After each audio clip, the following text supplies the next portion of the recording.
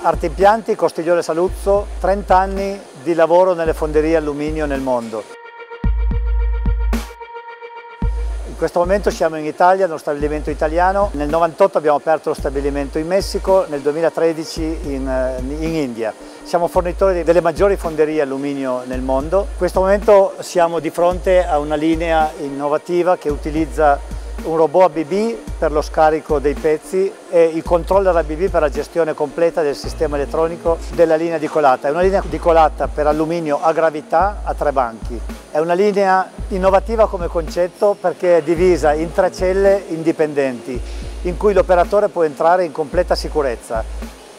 L'innovazione di questa applicazione è che abbiamo due assi cartesiani che fanno uno la colata e l'altro il ramolaggio delle anime, prelevandole partendo da un metro e mezzo distante dal banco. Questo permette all'operatore di fare la manutenzione naturale dello stampo in completa sicurezza. L'operazione di scarico è fatta da un robot 6620 della BB sospeso sotto la stessa trave che regge i gantri. Il robot ha il compito di scaricare il getto quando è ancora semiliquido, quindi deve mantenerlo in posizione perfettamente orizzontale. Una volta solidificato lo movimenterà nello spazio per fare la prefinitura e poi percorsa tutta la linea depositarlo in un'area di colata e raffreddamento definitivo.